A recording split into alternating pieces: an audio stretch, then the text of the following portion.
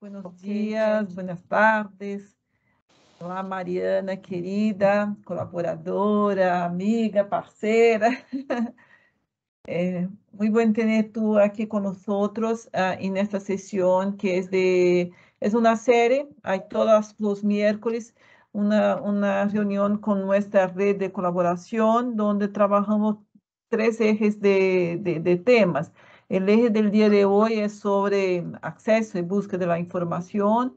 Uh, y vamos a tener aquí entonces una presentación de esta experiente, competente, que tiene, eh, en fin, es profesora adjunta del Departamento de Medicina Preventiva de la Escuela Paulista de Medicina en la Universidad Federal de São Paulo, Unifesp, ela tem um pós-doutorado em Departamento de Orientação Profissional uh, de la USP, Universidade de São Paulo, é doutora em Ciência uh, no convênio doble titulação na Escola de Enfermeria da Universidade de São Paulo, enfim, é, tem doutorado na Universidade Carolina do Norte, enfim, tem montones de qualificação uh, e preparação, verdade, para para, enfim, nos apresentar e compartilhar com nós seu conhecimento acerca da busca da informação, o processo de investigação na área de saúde.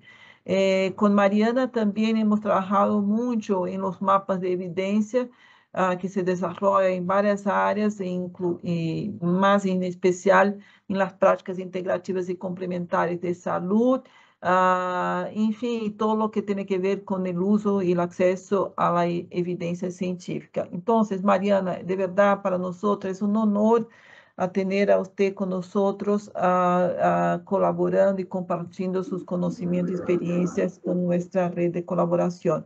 Eh, pode ser que tenhamos, te, te, seguro, vamos ter espaço para perguntas, uh, enfim, e debate de, de, do grupo. ¿ok? Entonces, muchísimas gracias y, y colegas, aprovechen bastante esta oportunidad que nos brinda Mariana. Gracias. Bom, bem-vinda, Mariana. É um honor tê-la aqui. Eh, este evento faz parte de, um, de uma série de, de, de, capacitações e de fortalecimento de rede de informação em saúde da América Latina e Caribe, e está dentro de uma categoria de acesso e uso da informação. Então, este tema que você traz para nós no, no dia de hoje é muito, muito, muito importante, né? Então, vamos aqui desfrutar. Graças. Muchas gracias, eh, Elizabeth y Verónica, por la invitación. Eh, estoy muy contenta de estar aquí con nosotros. Eh, eh, voy a intentar hablar en español, pero yo he estudiado un poco de tiempo atrás, entonces perdóname si es un poco portuñol, un poquito con portugués. Y yo he lo material para el español y también voy a presentar a ustedes una plataforma virtual donde tendrán acceso a todas esas informaciones a, en Classroom de Google Meet. Entonces, uh, pienso que así no tenemos problemas para accesar la información de después, porque vamos a hablar de herramientas y de otros uh, websites que pueden utilizar para su búsqueda y pesquisa, investigación. Entonces, pienso que así está bien. Eh, Vou começar para conhecer um pouco vocês, a me apresentar. Então, como Verônica disse, eu sou professora da universidade e trabalho com evidências e revisões sistemáticas e revisão de escopo e diferentes tipos de revisão há mais de 10 anos. Então, me gusta muito o método e agora, há dos anos, temos a oportunidade de fazer os mapas de evidências junto com Bireme, então é um projeto muito lindo que temos muito a alegria de dividir com todos. E para começar um pouquinho, vou mostrar a vocês um jogo de investigação. Vocês podem falar ou escrever no chat se querem. Para começar, tem que eleger um jogador. Então, vamos ver que tipo de jogadores temos acá. Então, um, vou aqui começar minha apresentação. Entonces, esa soy yo y vamos a hablar de qué importa en búsqueda. Y este es el juego de. Entonces, eh, es importante cuando empezamos con la pregunta de búsqueda, pensar todo el proceso de investigación, especialmente cuando pensamos en la publicación de un artículo científico. Entonces, para empezar, eh, convido a ustedes a elegir un jugador. Tenemos aquí el matemático que le gustan los números, la enfermera, como yo, que le gustan las historias, y también el centauro, que le gustan los números y las historias, que es muy parecido con el método mixto de pesquisa. Entonces, eh, el matemático es muy eh, para combinar con la pesquisa cuantitativa y el, la enfermera con la pesquisa cualitativa. Ay, yo pienso que hay personas waiting the lab. Um, Elizabeth, ¿se puede ayudar ellos? Sí, sí, estoy. Ah, vale. Y, y ustedes, si quieren, pueden escribir ou me dizer se eh, há tipos acá, como o matemático, enfermeiros ou centauros. E depois que elegimos um jogador, vamos a hacer todos os passos do jogo. Então, para começar, elegimos o tema e definimos o problema. Haga uma pergunta. Então, quando vamos falar de la búsqueda, é muito importante diferenciar o tema de la, del, de, del problema porque muchas veces el tema es muy grande. Ah, yo quiero saber de la salud del niño. Es muy grande. Es un tema que puede hacer muchas preguntas y muchos problemas. Entonces tenemos que definir eso. Y para ayudarnos a definir eso, tenemos que establecer el objetivo de nuestra pesquisa, de nuestra investigación. Y para eso vamos a usar verbos, taxonomías que pueden ayudar. E também para definir um bom problema, temos que revisar a literatura, ler os artículos que é relacionado com os nossos, nossos temas de pesquisa. Então, vamos ter que pensar como fazer esta búsqueda em la literatura, é por isso que estamos aqui hoje falando de tipo de problema e de pergunta. Então, se querem, podem escrever suas perguntas ou casos, situações que têm interesse. E quando hacemos a revisão, é tempo de volver dos, dos casas. Então, isto é para lembrar um pouco do jogo de la vida, eu penso que é muito popular em vários países. Então, hacemos a pergunta inicial, pero depois que revisamos a literatura, temos que retroceder y, y, ver si nuestra pregunta en, y nuestro problema es verdaderamente importante.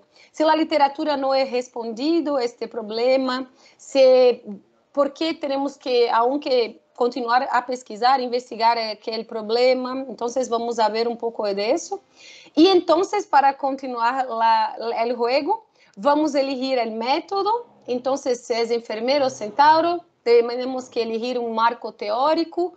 Para elegir o marco teórico, temos que regressar a uma casa também, porque a, a literatura vai apresentar quais tipos teóricos são mais eh, populares, com diferentes tipos de pesquisa, eh, com métodos. Então, temos que ver novamente.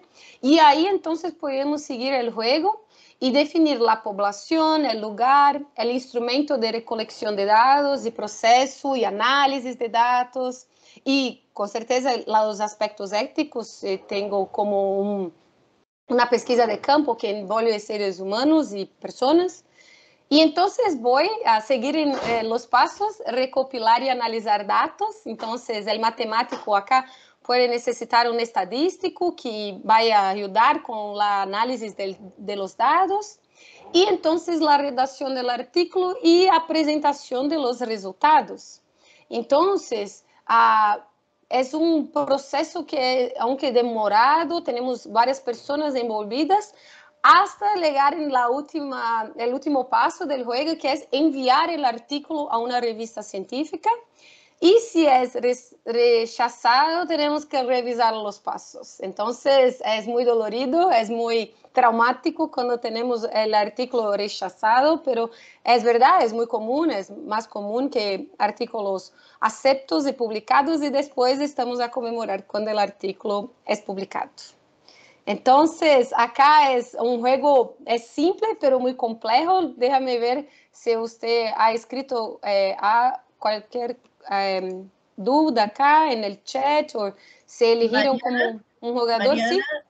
Eh, está abierto la, los micrófonos y las cámaras de, la, de, de todos los participantes. Si, si, alguien quiere participar efectivamente, alce la, la mano y, y, puede abrir su, su, cámara y su micrófono. Es, es, importante ese diálogo. Perfecto, muchas gracias, Elizabeth. Um, pero dígame si le gustaron los juegos, porque es la primera vez que lo presento en español. Entonces me digo si hace sentido, si es se, se lo sabían jugar.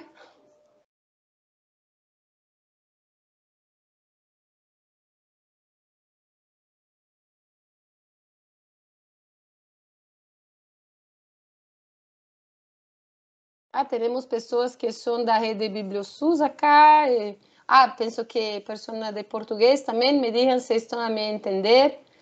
Pessoas de Panamá, muito gosto.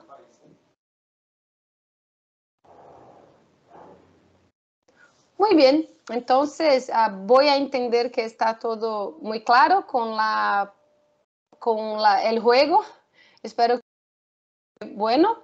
Y vamos a seguir entonces para é, um pouco de como podemos fazer a prática de saúde baseada em evidência e como fazer estas perguntas de pesquisa. O primeiro passo do jogo de uma forma interessante que pode ajudar a todos.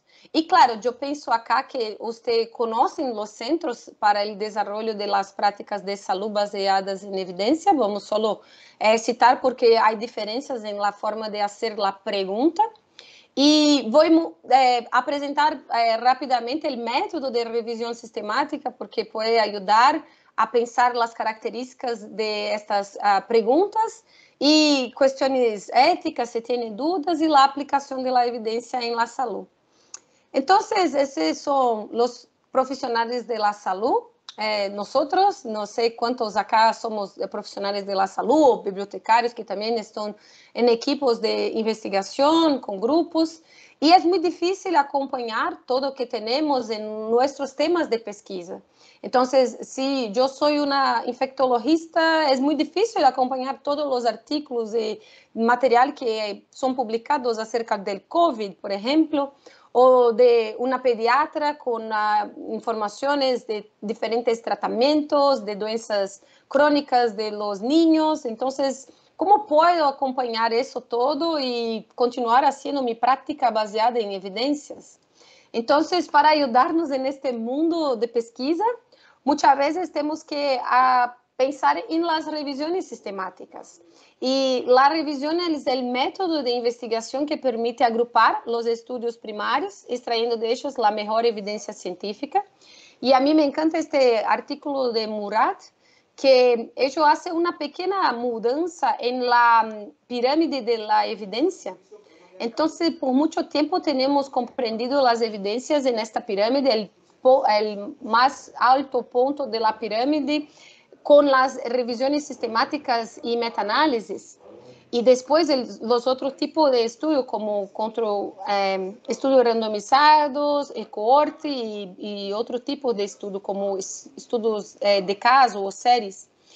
Y Murad eh, hecho una mudanza muy interesante, que es una lupa para ver estes estudos. Nós não podemos pensar que todas as revisões são buenas, bem feitas, de, porque para uma revisão sistemática bem hecha, temos que ter bons estudos, bem desenhados, com boas perguntas. E, aunque a qualidade pode cambiar desses estudos, então esses fazem uma outra, um outro cambio, que é não uma linha reta, pero ondulada, la diferenci diferenciando os tipos de estudos. Então, sempre valorizando a qualidade destes estudos. Então, é muito interessante pensar que a qualidade da revisão depende da qualidade dos estudos incluídos. E para eu encontrar isso, temos que fazer boas perguntas. E, claro, por supuesto, há centros que fazem isso, como o Instituto Joanna Briggs e a colaboração Cochrane e a colaboração Campbell. Estas imagens acá, o topo é do Instituto Joanna Briggs e abaixo de Cochrane Collaboration. En este centro tiene handbooks, materiales de apoyo, softwares para ayudarnos a hacer las revisiones. pero hay muchos diferentes tipos de revisiones. Eh, Instituto John Briggs hace mucha pesquisa cualitativa de revisión, colaboración Cochrane más cuantitativa y colaboración Campbell hace mucho estudio de eh, área de ciencias sociales, derecho, educación. Entonces, hay, hay unas diferencias en cada centro. Y para ayudarnos a entender todos estos diferentes tipos de revisión, tenemos las familias de revisión. Eh, Dr. Andrew Booth eh, presenta en su vídeo, en sus artículos, diferentes eh, familias, como las familias tradicionales y sistemáticas y rápidas. Para cada tipo de revisión hay un tipo de pregunta. Entonces, si hay dudas de la diferencia entre estos tipos de revisión, cuál es la diferencia entre una revisión cualitativa y de método mixto, por ejemplo, podemos ver este artículo que es muy bueno, es del profesor Andrew Booth. Ellos presenta los tipos, 14 tipos más eh, comunes y que tiene como ah, la diferencia para cada, cómo hacer la pregunta, cómo hacer eh, la búsqueda. Entonces puede ayudarnos eu espero que, né, se já conhecem, não é problema, mas se não conhecem, é um material muito interessante para, para nos ajudar no processo de revisão. E que é a revisão sistemática? É um método de investigação que permite agrupar estudos primários extraindo de a melhor evidência científica. Me gusta muito, é muito simples o conceito de revisão sistemática, mas é muito complexo o processo de fazer uma revisão sistemática. Entonces, la interpretación del investigador, del sintetizador, sobre los datos primarios de diferentes estudios cualitativos, por ejemplo, propone la realización de una metasíntesis, con miras a comprender el fenómeno y ampliar el conocimiento, favoreciendo su aplicación en la adopción de políticas y prácticas y toma de decisiones en salud. Entonces, todo este trabajo de elegir una pregunta, hacer una revisión, é para influenciar e fazer diferença em políticas e práticas de saúde. Então, sempre eh, lembrando o objetivo de uma revisão. E acá é o método de la revisão sistemática. Eu penso que muitos de vocês conhecem eh, como fazer uma revisão. Então, primeiro temos uma pergunta, a estratégia e os descriptores. Isso vamos a conversar hoje, especialmente porque temos que pensar como fazer a pergunta. E depois, o papel muito importante do uh, bibliotecário acá para nos ajudar a encontrar os descriptores, as bases de dados, a eleição de critérios de inclusão e exclusão. Então, todas as revisões, todas as famílias, temos que fazer essas duas, esses dois passos iniciais. E depois, se queremos a continuar e fazer uma revisão sistemática, Entonces tenemos que hacer los pasos siguientes, como avaliar la calidad de los estudios, hacer la extracción de datos y elegir categorías.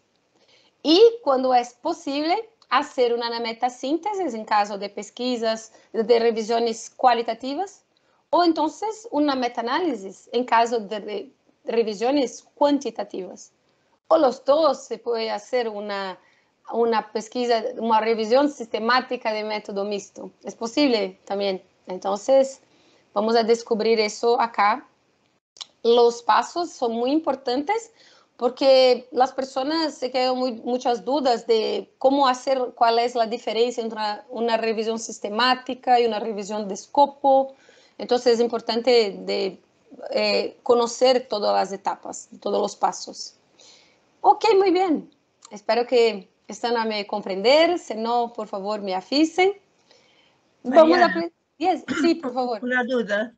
Uh, uma revisão sistemática que é, como disse, eh, nos traz Murad, que é uma lente de aumento eh, sobre os estudos primários. Pero esta revisão, ela é, ela de uma certa forma está publicada considerando-se aí um pouco de, de a qualidade metodológica, ela é publicada e me pasa algo. ¿Cómo eh, los tomadores de decisión, principalmente quien está en la clínica, que, que necesita tomar una decisión o, o, necesita tener una, como un norte en una decisión, por, por ejemplo, de un caso clínico uh, sobre uma intervenção, a pessoa não, não vai fazer a avaliação desta revisão para se certificar de sua qualidade, está diante de um material científico e necessita tomar decisão. Me passa como isso se dá em, la realidade. Não sei se pode clarear isso.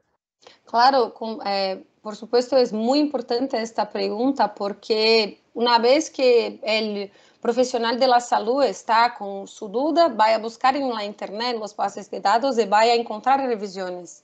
Entonces es importante hoy especialmente, hace como 10 años, vamos a empezar a analizar la calidad de las revisiones. Cuando ah, vamos a publicar esas y las revistas eh, también están cada vez más eh, incentivando el, los checklists o entonces eh, los como una, un checklist con todo que es necesario para presentar la revisión. Entonces las revisiones tienen mejorado mucho la calidad hoy en día porque tenemos los checklists, las revistas que eh, eligen los puntos más importantes y también los centros que han de una forma intentado como padronizar la calidad. Entonces voy a mostrar en el fin de nuestra presentación que hay hoy checklists e instrumentos para analizar la calidad de la revisión antes mesmo de publicar sus resultados. Entonces, cuando vamos a escribir el artículo de la, de la revisión, vamos a incluir los datos como grade o entonces con cuál, que son instrumentos para esos. Entonces, tiene ayudado mucho. Eh, cuando Murad eh, publicado su trabajo, tendríamos muchos tipos extraños de pesquisa. Y con el COVID eh, vimos también que hay ensayos clínicos que no son tan buenos y otros que son mejores. Entonces, todo lo que siempre decimos para los eh, tomadores de decisiones es para cuando recibir una revisión o un protocolo, una información de cómo ahí, eh, tener nuevas prácticas en salud, eh, es necesario de, eh, realmente clarificar si es una buena revisión, si hay una calidad, una revista de calidad que es con un instrumento con la calidad de esta revisión en, en el escrito del artículo. Entonces, y más importante que todo, si hay revisiones del mismo tema, pero con resultados diferentes, uh, implicaciones, sugestões diferentes, é necessário entender qual é a qualidade destas diferentes revisões. Então, sempre a qualidade é para ajudar-nos quando há desfechos ou resultados diferentes. Então, isso é muito interessante e nós cada vez mais estamos a buscar isso e clarificar isso nesse processo. Eu he respondido, Elizabeth, he ajudado com esta resposta?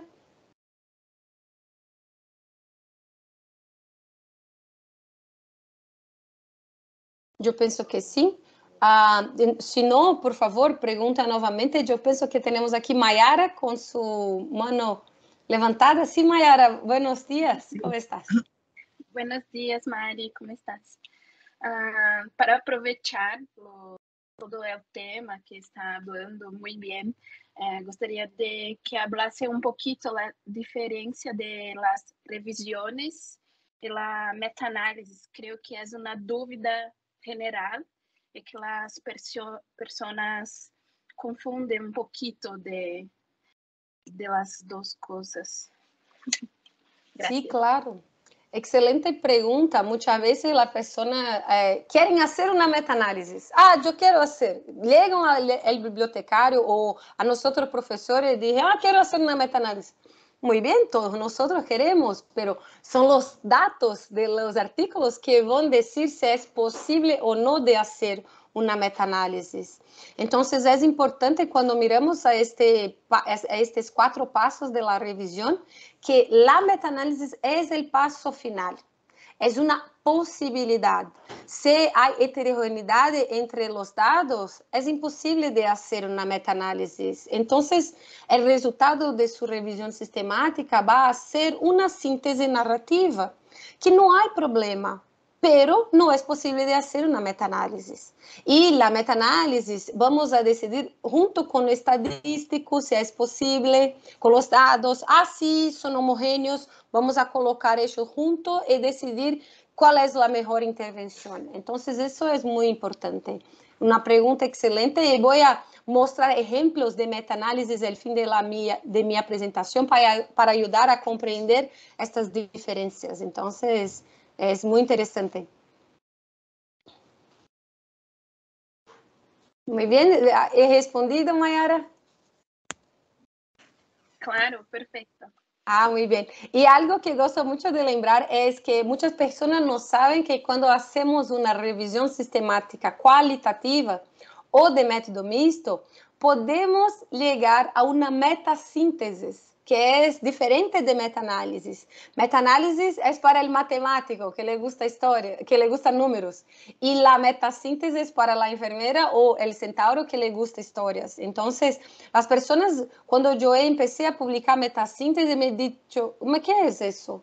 Não, não, não conosco. Então, há professores que he desenvolvido e hoje o Centro Juana Briggs ah, tem muitas metasínteses publicadas, então eh, são possibilidades também Entonces, estamos acá para presentar esos. Muy bien, entonces vamos a ver cómo hacer preguntas para cada uno de estos tipos diferentes de revisiones. ¿Sí? Ok. Sí. Ok, ¿qué es la pregunta de una revisión? ¿Qué es la pregunta norteadora? La pregunta son componentes fundamentales tanto para la construcción de la pregunta de investigación como para a construção da estrutura lógica da búsqueda bibliográfica e, em consequência, da evidência. Então, a pergunta é algo um pouquinho mais complexo que solamente juntar palavras. Nós temos que pensar e testar e ver se é uma boa pergunta. Acá temos a estratégia de revisão sistemática qualitativa. La estrategia pico es muy conocida. Muchas personas han dicho, ah, yo estoy haciendo el pico, yo puedo entrar en la base de datos PubMed y tenemos esta herramienta del pico, pero es no para pesquisa cualitativa, es para pesquisa cuantitativa. Y ahora vamos a ver la diferencia. Entonces, si voy a hacer una revisión sistemática cualitativa, la primera situación es que tenemos que elegir el paciente o la población que voy a estudiar. E acá temos que pensar que sempre uma pessoa pode ser um niño, um adolescente, uma pessoa adulta ou uma idosa, pero, temos que dizer qual a idade, quem é esta pessoa. E temos que definir o fenômeno de interesse. que vou fazer? que vou buscar? Ah, me gostaria saber, por exemplo, para as pessoas idosas, como é sua qualidade de vida com doença crônica ou se tem alguma dificuldade com fazendo um tratamento específico, quais são suas percepções, quais são seus conceitos sobre, la, sobre este problema de saúde e a dificuldade, so, como são as experiências de ellos que têm um diagnóstico, por exemplo, de COVID, que, que, que significa para eles em um contexto específico, que é, por exemplo, um serviço de saúde de atenção primária ou de atenção hospitalar, ou então em escolas, ensino, pode ser em diferentes espaços. Pero o contexto sempre pensa, mira uma casa, algo como uma casa para lembrar que é algo que é cercado. Não, há, não vai ser uma cidade ou um país, não. O contexto é o serviço donde la pesquisa vai ocorrer. Então, temos aqui a estratégia de revisão sistemática qualitativa. Não sei se acá temos pessoas que estão a fazer isso, podem trazer suas perguntas, pero o paciente, o fenômeno de interesse e o contexto. Então, temos que decidir isso para o pico qualitativo. Quando vamos a fazer uma estratégia de revisão sistemática quantitativa, teremos o pico lo mismo el paciente o población, pero não é um fenômeno de interesse. Quando estamos a pensar pesquisa quantitativa, estamos a pensar uma intervenção, uma vacuna, um tratamento, uma medicação que estou testando para ver se é interessante, se, se é eficaz. Puedo comparar com algo, por exemplo, o placebo ou com lista de espera. Muitas vezes não gostamos mais, mas aunque há vezes que temos ainda. E temos resultados ou consequências específicos. Então, eu quero ver se a vacuna do COVID é interessante para prevenir o COVID, evitar a morte por el COVID. Então, esse é o outcome, é o nome, é o termo em inglês, mas acá temos traduzido como resultados ou consequências. Então, de novo, temos o paciente, quando temos a revisão sistemática, a intervenção, porque é uma revisão sistemática quantitativa, e a comparação, que é porque temos muitas vezes ensaio clínico que tem essa comparação, comparativo, e os resultados ou consequências que elegimos adelante, não depois. Precisamos elegir adelante porque podem ser como estratégia de busca. Podemos incluir qualidade de vida, morte, qualidade do sueño como desfechos, então, descriptores para hacer nossa pergunta. Todos os itens que compõem a estratégia vão virar eh, descriptores para a búsqueda em las bases de dados. E se vamos a fazer uma revisão sistemática de método misto, temos que ter a estratégia qualitativa e também a estratégia quantitativa. Podemos elegir se queremos fazer primeiro a revisão quali, depois a quanti, pero temos que decidir as duas estratégias de pergunta e de, de revisão. As revisões sistemáticas são muito interessantes quando temos muitas publicações com pessoas com ensaios clínicos, com pesquisa qualitativa, entrevistas, grupos focales. Esto é interessante fazer uma revisão sistemática, pero há muitos assuntos, eh, problemas de pesquisa que não há muitas pesquisas publicadas aunque. Então, é possível fazer com uma eh, pesquisa de revisão que é para encontrar em la literatura que é que há publicado sobre algo? Quando hacemos isso, chamamos del mapa, estado da arte, mapa de la arte, estado de la arte de um determinado conceito. Quando vamos a fazer isso, e chamamos de scoping review, ou então, no passado, eh, nossas primeiras revisões de literatura, revisões narrativas, integrativas, todos esses tipos de revisão, podemos compreender hoje como scoping review e podemos utilizar esta estratégia que é o PCC.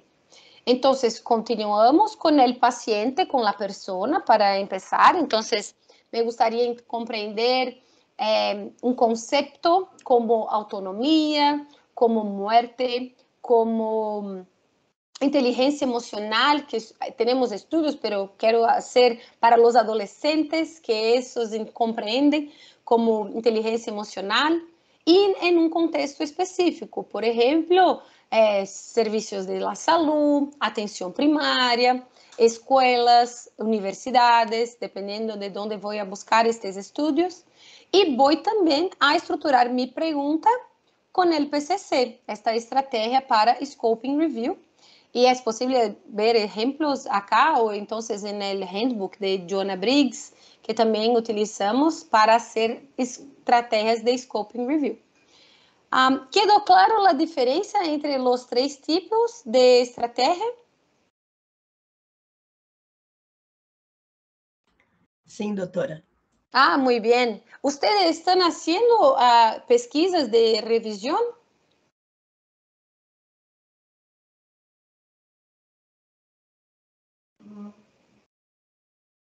No hay problema. Voy a mostrar ejemplos de eso para ustedes, pero si quieren traer una pregunta o una situación que están haciendo ahora y podemos intentar discutir con las estrategias, es interesante. O Alicia he hecho eh, revisiones. Muy bien. Y en el material del Classroom voy a presentar un artículo que utiliza otras eh, estrategias de pregunta, no solamente el pico, pero tenemos el picot, el spider, que son diferentes estrategias para hacer la pregunta de revisión. Entonces, no se eh, sorprendan si están a leer un artículo y he utilizado otro tipo de estrategia de, de pregunta de revisión. Muy bien. Una vez que tenemos eh, las preguntas, vamos a las bases de datos para descubrir si la pregunta encuentra estudios o artículos científicos. Entonces, eh, muy bien, yo pienso que acá todo lo conocen en eh, los diferentes bases de datos. Eh, tenemos bases de datos de la salud, de la psicología, de la enfermería, de la educación. Dependiendo de la pregunta, vamos a elegir los más adecuados para encontrar los estudios.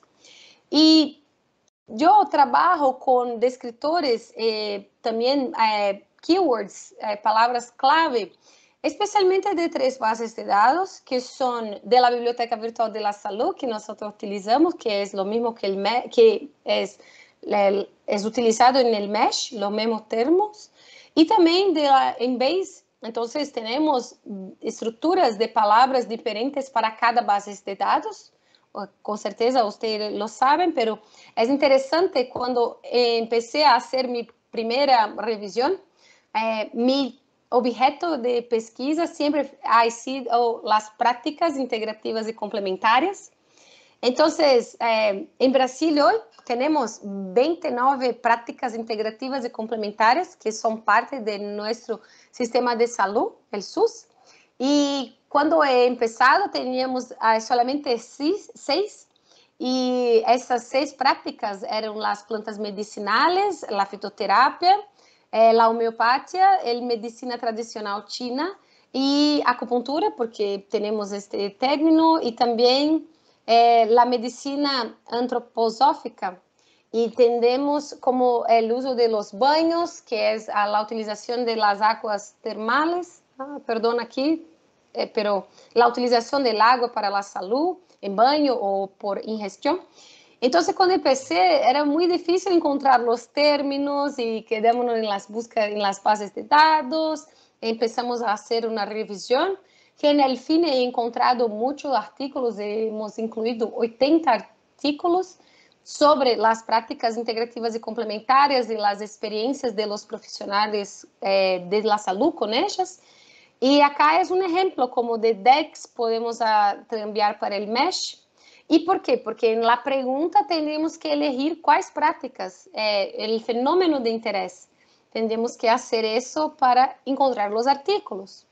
Y, por supuesto, después tenemos que hacer todo ese proceso en las coleta de dados, estabelecer el periodo e idiomas, documentar todo eso. Hoy utilizamos mucho el Ryan, pero hemos utilizado también EndNote, Zotero, Mendeley.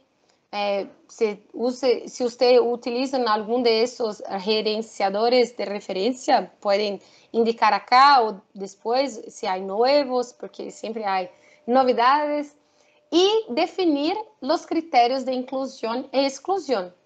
Entonces, por ejemplo, cuando eh, empezamos a hacer los mapas de evidencias, nosotros para empezar no elegimos que solamente encontraríamos revisiones sistemáticas, pero cuando hacemos las búsquedas, comenzamos a ver que tendría muchas revisiones sistemáticas de acupuntura, de yoga, de meditación. Entonces elegimos como un criterio de inclusión incluir solamente as revisões sistemáticas para quedarnos com uma, um mapa de evidências muito robusto, com qualidade, que podemos uh, analisar todos por lo mesmo método de pesquisa. Então, pode ser isso. Acá é o momento que temos que volver a la pergunta e checar se está realmente interessante, suficiente, não está muito ampla ou muito pequena, que o resultado é zero. É muito triste quando isto se pasa, pero es verdad, es muy común. Entonces, una vez que tenemos elegido todo eso, podemos seguir para identificación de los estudios. e qual é a melhor maneira de apresentar estes resultados. E eu penso que vocês todo he visto que o prisma é cambiado um pouco. Eh, não é mais como esse que eu não he, eu pensei que eu he eh, modificado a imagem, pero a estrutura é a mesma, pero há uma atualização de 2020 que podem checar no Classroom. Eu he traduzido para o português, pero aí em inglês, que sabe, eh, Verônica e Elizabeth le encanta, podemos traduzir para o espanhol e para facilitar a todos quando vão a publicar suas revisões. E o processo é muito simples. Vamos a indicar todos que identificamos em la database, em la búsqueda em las bases de dados. Depois, o processo de seleção, como vamos a eh, sacar os excluídos, porque são duplicados ou não elegibilidade, que vamos a dizer eh, por que vamos a excluir um ou outro. Muitas vezes, em los estudos de los mapas de evidências, uma revisão sistemática eh, misturava, ponia todo o estado junto, yoga, meditação, acupuntura, e não era possível eh, dividir ou utilizar solamente os dados de acupuntura ou de yoga ou de meditação. Então, teríamos que excluir porque estava todo intercambiado. E, por fim, temos que indicar o número de los estudos incluídos, eh, se é uma síntese qualitativa ou uma meta-análise, ou então, se é um estudo misto, temos os dois.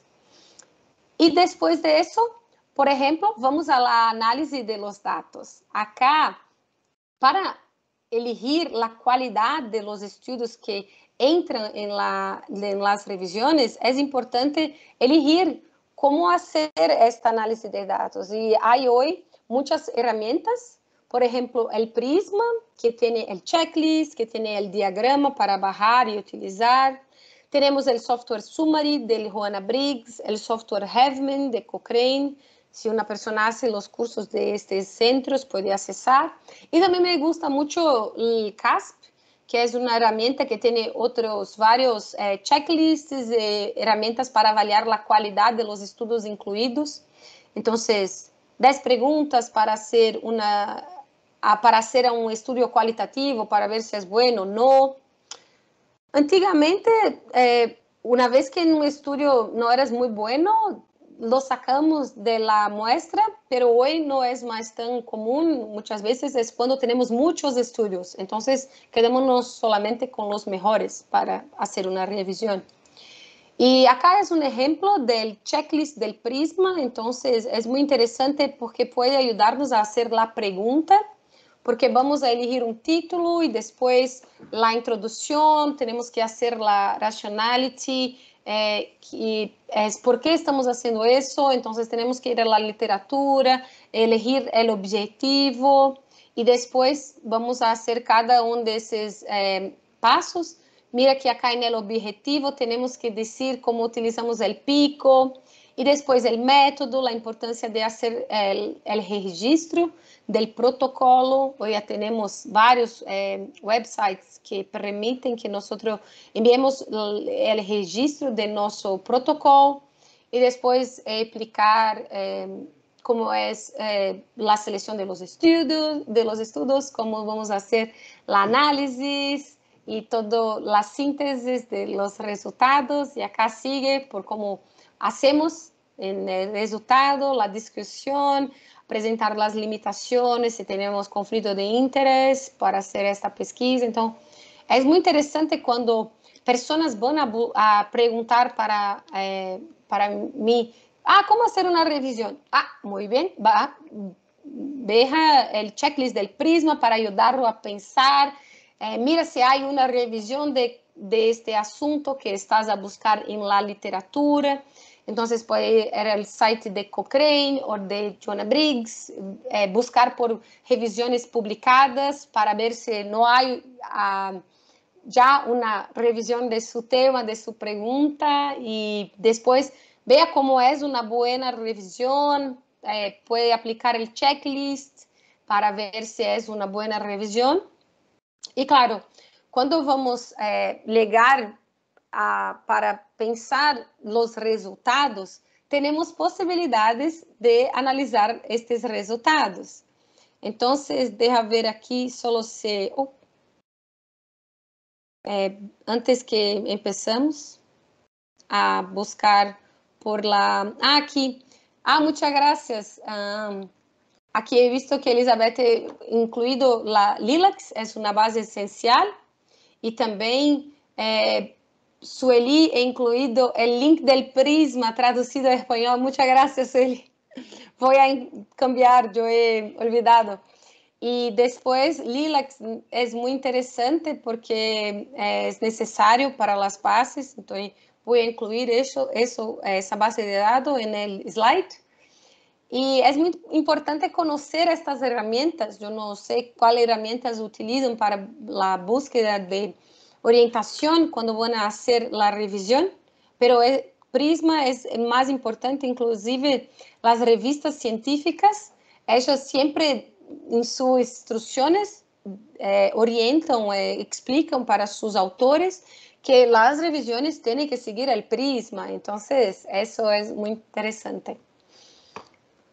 Muito bem, uh, podemos utilizar para a qualidade de los artículos os instrumentos que há em Prisma, pero também eh, que há em Equator Network. Eu penso que vocês conhecem bem el Equator Network, que tem vários eh, instrumentos para analisar as revisões. E quando. Ah, instrumentos de relatos. Hum, os instrumentos de análise de, de, los, de la? Não, não, não passa pela qualidade, passa pelo checklist metodológico. Chamamos de instrumento de, de relato e, e consultamos, é, porque tem vários tipos de estudos, então é, Equator Network é um, um site muito importante para isso. Ah, muchas gracias, Elizabeth. Entonces, sí, por favor, tenemos que orientar a las personas que van a hacer las revisiones de la importancia de la calidad de estos estudios.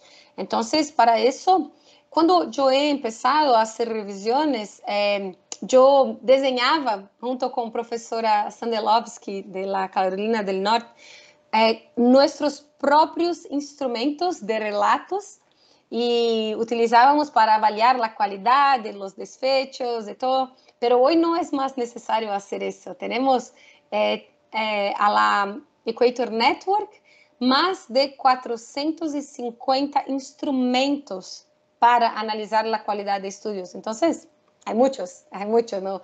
Ah, mi estudio es de acupuntura. Muy bien, tiene. Ah, moxibustión, tiene también. Ah, ensayo clínico randomizado, tiene, todo tiene. Entonces, no es necesario uh, más para buscar como cuál es que yo preciso intentar uh, hacer para mi estudio. Entonces, esto es interesante.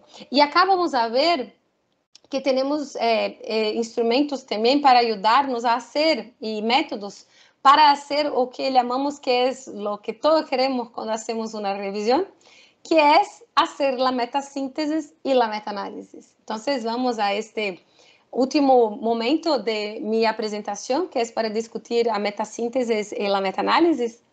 Tá bem? ¿Todos juntos? Muito bem. Então, a metasíntesis, que é a metasíntesis qualitativa, é uma agregação orientada quantitativamente para sintetizar artículos diseñada para, alugar, para agrupar los hallazgos específicos produzidos por estudios qualitativos. Entonces, a mí me encanta, profesora Sandelovsky, yo he hecho parte de mi doctorado con ella, es una estudiosa de metasíntesis. Y las técnicas para integrar los resultados de la investigación cualitativa son tan variadas como la propia investigación cualitativa. Lo importante é comunicar os resultados de la mejor maneira possível. Então, acá há um exemplo de como fazer de uma metasíntese que nós hemos eh, publicado em la revista de enfermería de Universidade de São Paulo, de Ribeirão Preto, que são os valores de la enfermería como prática social, uma metasíntese qualitativa. Temos o texto em espanhol, porque é uma publicação em três idiomas, Y lo que hacemos es posible de hacer una agregación de los datos y ver las categorías, o es posible una configuración de estos datos. Entonces, acá leemos varios materiales, textos de Florence Nightingale, que es una enfermera muy popular y conocida, tesis de disertaciones, de estudios de posgrado, y a partir de esa lectura hemos elegido conceptos que ligamos a los valores síntese de la enfermería como práctica social. Entonces, elegimos el ordenamiento y el cuidado como los valores de la enfermería como práctica social. Esto es un ejemplo de una metasíntesis. Podemos hacer diferentes formas una metasíntesis. Y como he dicho, podemos hacer una metasíntesis por agregación, donde hallazgos similares y confirmatorios son repetidos y el producto es un resumen de los resultados combinados asociados. Por ejemplo, metaanálisis bayesiano o frecuencia.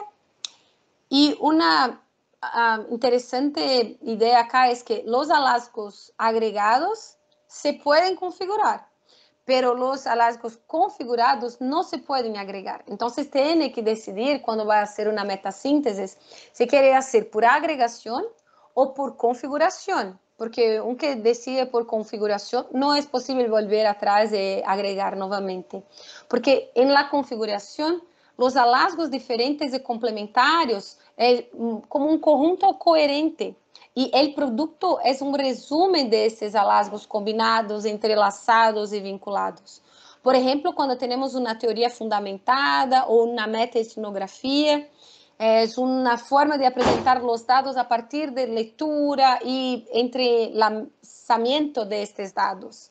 Então, são duas possibilidades de metassíntese que são possíveis com revisão sistemática qualitativa ou, então, revisão sistemática de método misto. E acá temos também a meta-análise, o sueño de todo pesquisador que hace uma revisão sistemática. Então, o meta-análise é um análise estadístico, resultante de la combinação de los resultados de los artículos originales para produzir uma medida única do efeito de la intervenção terapêutica la precisión de la prueba diagnóstica o el factor de riesgo en estudio. Entonces, acá tenemos un ejemplo que en el metaanálisis es posible si hay similitud entre las poblaciones ou se há homogeneidade entre os resultados. Quando não é possível realizar um meta-análise, a revisão sistemática é descritiva. E, neste caso, o resumen é um resumen textual, de características e informações relevantes que há em cada estudo. Por exemplo, acá temos a evaluação do processo de medicação de pacientes pediátricos, uma meta-análise. Muito bem, temos acá uma lista de los estudos, eh, as diferentes referências, os índices de erros, o limite máximo, mínimo, o valor de P. E acá, o diamante que é o resultado do que foi encontrado da avaliação do processo de medicação de pacientes pediátricos. Acá temos um resultado que é melhor, qual é o melhor eh, de medicação destes pacientes. Muito bem, acá é a imagem de uma meta-análise, pero só é possível chegar acá se há uma homogeneidade entre os estudos. E também, quando pensemos os dois tipos de análises, a meta-análise e a meta-síntese, são para ajudar na tomada de revisão. Então, temos que avaliar a qualidade das revisões sistemáticas. Por exemplo, o grade do grupo Cochrane para avaliar a qualidade de uma revisão sistemática quantitativa, ou o CONQUAL para avaliar uma revisão sistemática qualitativa. O AMSTAR para avaliar junto eh, a qualidade de revisões sistemáticas quantitativas e a ROBS também para avaliar o risco de viés da pesquisa. Então, é necessário hoje que utilicemos estes instrumentos ao fim de nossas revisões, para avaliar a qualidade de estas e facilitar que os tomadores de decisão conheçam que é que eu he encontrado. El Amstar, por exemplo, eu he utilizado, nós hemos utilizado para os mapas de evidências. ¿Por quê? solamente in, revisões sistemáticas. Então, é possível utilizar só um instrumento para avaliar todos os estudos que hemos incluído em los mapas de evidências de práticas integrativas, medicinas tradicionais e complementares. Então, é interessante, é um grupo grande, tivemos que fazer várias eh, formações e os bibliotecários han ajudado a nós também, porque he conhecido o instrumento e formação para utilizar isso. Muito bem, chegamos ao fim, hacemos a revisão, quedémonos con la calidad de esta revisión, utilizamos instrumentos para avaliar esta calidad. Muy bien, ¿qué hacemos ahora? Tenemos que poner en práctica todas las evidencias que hemos encontrado. Pero no es un proceso muy simple hacer eso. Para aplicar las evidencias en salud, tenemos que identificar implicaciones para la práctica y nivel de evidencia de las recomendaciones en las revisiones. Entonces, tenemos que incluir las implicaciones para práctica, implicaciones para pesquisa. Tenemos que discutir con el personal, los gerentes y los usuarios acerca de esta nueva evidencia.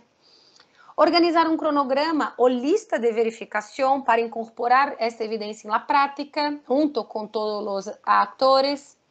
Incluir esse personal, diretivos e usuários la incorporação de evidência. E, por fim, evaluar a incorporação de evidência. Então, hoje temos muitas práticas e muitas eh, revisões sistemáticas, sabemos que é necessário cambios em algumas práticas, pero este processo de traduzir o conhecimento para a prática também é muito complexo. Então, acá é só para rememorar que é necessário uma, um outro tipo de estudo para aplicar as evidências em la prática. Acá umas referências para vocês e acá é o link para o Classroom que vou mostrar para vocês agora no fim. Então, se querem, podem como entrar, se querem, e posso mostrar a todos, se querem. Que tal? Ah, acá temos perguntas. Vou colocar acá o Classroom, que podem tentar entrar. Muito bem. Um, oh, Elizabeth gostaria de conhecer a diferença do Amstar e do Grade. Ah, muito bem. Então, é interessante porque o Grade, a diferença principal é que é aplicada por los próprios pesquisadores al fim de sua revisão e el Amstar pode ser aplicada por outros pesquisadores acerca de uma revisão. Então, o que hemos dicho é que quando hacemos uma revisão del Cochrane, uh, normalmente vamos a utilizar el grade, porque os eh, pesquisadores vão a fazer e aplicar todas as etapas, porque eles têm acesso a todos os estudos que estão incluídos. E quando utilizamos, por exemplo, o Amstar, é porque não vamos a mirar todos os estudos incluídos de todas as revisões, vamos ver o relato da revisão. Então, é uma diferença.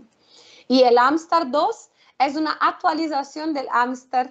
Então, o Amstar 2 é o mais interessante hoje para nós e estamos a utilizar o Amstar 2 porque é um pouco mais interessante, há mais perguntas. O Amstar primeiro é só como 12, o 2 Amstar 2 tem como 16 e é possível de ver melhor como eh, estão esta qualidade desta revisão. Então, por isso que sempre, provavelmente, vamos a ter Amstar 3. Eu he tentado fazer contato com o grupo de Amstar, mas não é sucedido. Então, se há alguém aqui que conhece alguém de Amstar, por favor, me passe o contato que me gostaria conhecê-los y de Prisma también. Yo he intentado contacto porque hemos hecho la, la traducción para portugués de su material y me gustaría que podamos, uh, en, uh, con ayuda de Verónica y con ayuda del BEREM, y queremos incluir el site del Prisma, pero también no he sucedido en este contacto, entonces quizá un día podemos hacer eso.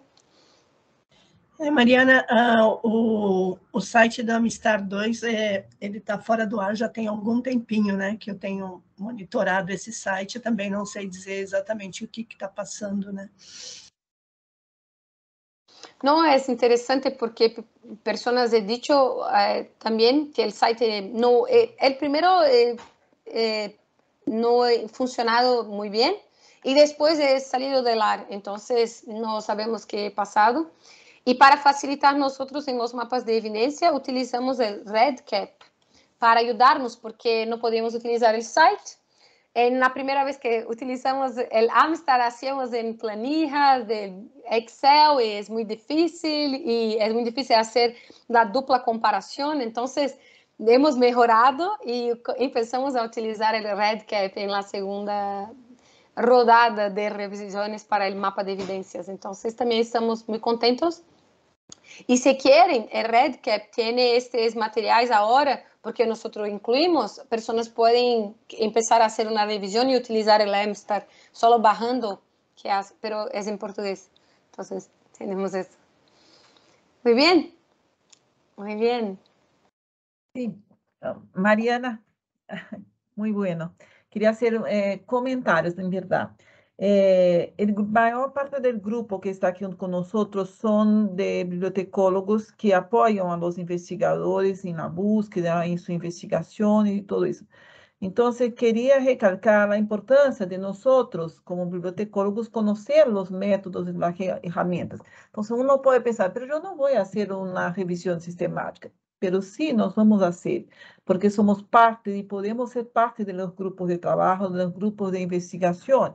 Uh, podemos ser parte de, como autores de escritura de, de, un artículo científico. Entonces, sí, somos parte de, del grupo, cada cual con su funcionalidad, pero todo tiene que, con, con función, pero todo tiene que conocer los métodos, las diferentes etapas, mismo que tú no vas participar en todas las etapas.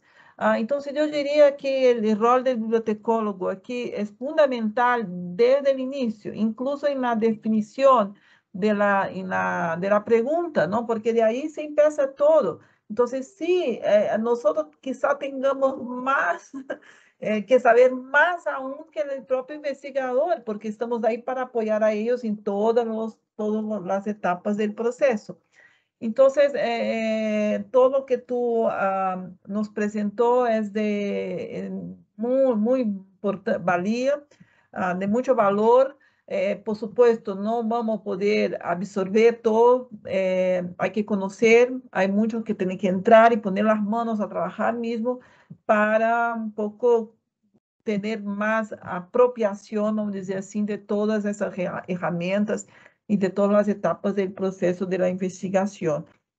Ah, quizá podamos ah, ampliar esta presentación para grupos de investigadores mismos ah, en, en, otras redes, en otros países. Entonces, a ustedes que están aquí, que coordinan red, si quieren llevar este tema a sus grupos de, en fin, eh, a sus redes, eh, creo que sería bien interesante y, y eu estou segura que Mariana vai aceitar esta colaboração ampliada para outras redes em outros, em, em outros contextos também.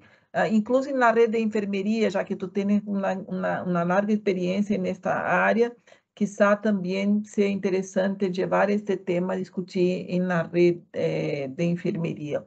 É uma sugerência, em verdade, e, e, e somente agradecer a, a tu excelente eh. Gracias. Muchas gracias, Verónica. Eh, perfecto, sí, me, eh, estoy a disposición si es necesario. Y si posible voy a mostrar rápidamente el Classroom, porque como Verónica ha dicho, es mucha información. Y muchas veces cuando las personas vienen a conversar con vosotros, ellos también están un poco perdidos. Entonces pueden necesitar de encontrar herramientas eh, y muchas veces no es posible hacer un curso del centro y quieren hacer una búsqueda más práctica. Entonces por eso nosotros hemos organizado este material de la pesquisa y el método científico. Entonces es de español pero con un poquito de problemas, perdona si no es todo traducido. Y acá cuando entro en actividad, tiene una presentación y un video para explicar cómo es la organización del curso. Entonces vamos a empezar con cada uno de estos pasos. apresentamos um pouco de material sobre o método científico, porque muitas vezes temos dificuldade com a cientificidade e por isso temos dificuldade de fazer perguntas ou fazer a revisão. E então vamos para la revisión y busca de las evidencias. Entonces, esta, a, esta aula que temos sobre o curso de revisión, el material, os softwares que podem utilizar, el, so, el site de Dr. Andrew que tem a apresentação e também outros textos e artículos, o fluxograma Prisma que he dicho que é o material em espanhol, e também a pergunta de revisão que podem ajudar vocês, o pico, o picos, o spider, podem fazer uma, um exercício e podem mirar se querem, se querem utilizar. E esta ferramenta, a Ryan, que hemos utilizado, então, el link, el vídeo de como utilizar também, temos acá. E depois, claro, há outros tipos de metodologia, então, se quer aprender sobre pesquisa quali, quanti, muitas vezes a pessoa tem dificuldades, este material é em espanhol. Eh, nossa colega Natália eh, incluído este material acá. E para a análise de qualidade da investigação, então, Equator Network, que hemos hablado, el CASP, que é outra ferramenta. Ah, se vou fazer o Amstar, então, acá temos um formulário, eh, nosotros hemos hecho, entonces si el site no he funcionado, puede buscar acá. Después, cómo voy a hacer el, la extracción de resultados de síntesis, el software que puedo utilizar y la escrita de artículos científicos también, porque muchas veces quedamos un poco perdidos. La diferencia entre revistas buenas y no tan buenas, entonces pueden acá é, conhecer mais e tirar dúvidas. E, claro, acá no mural podem fazer perguntas se há algo que tem dúvidas. Então, é uma invitação, se querem, é incluído o link para o Classroom acá no chat. E se alguém precisa como o código, também eu he incluído acá. Então, é mais uma ferramenta para vocês. Mariana, queria felicitá-la é, pela, pela apresentação e pelo presente, pelo regalo que nos dá neste material.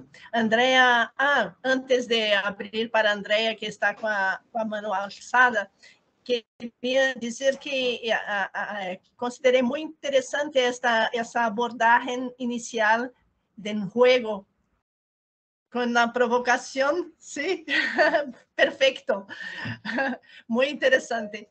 Y porque ciencia también puede ser lúdica, ¿no? Puede ser un poco más, eh, como se dice, más leve, ¿no? Podemos eh, usar desses, dessa abordagem para sedimentar mais em conhecimento, assim.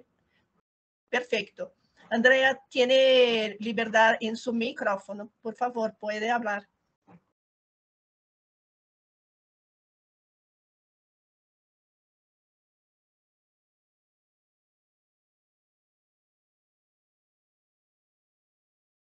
Andrea, Andrea, se quieres, eh, puede abrir su micrófono o escribir en chat si no, no puede liberar.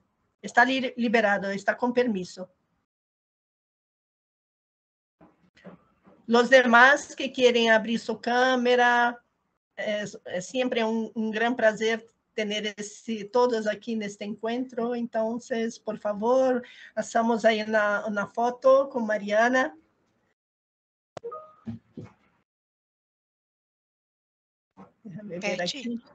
Oi, Sueli, pode falar.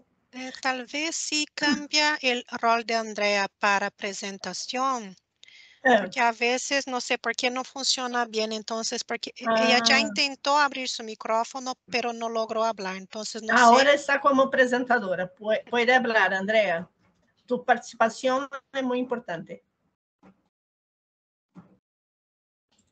Hum, todavía não escuchamos. Está como apresentadora. Hum. Escriba em chat, por favor. Sí, me parece que está intentando, pero... É.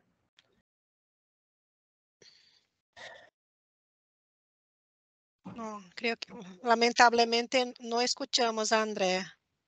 É.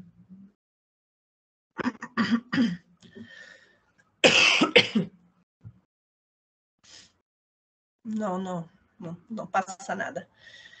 Bueno, tenemos que hacer, eh, como que ele ama em espanhol? Cerre, como sea. Sueli, me, me ayuda, como se dice, vamos cerrar Cierre. eso. Sí, cerrar la sesión. Cerrar la sesión. Eh,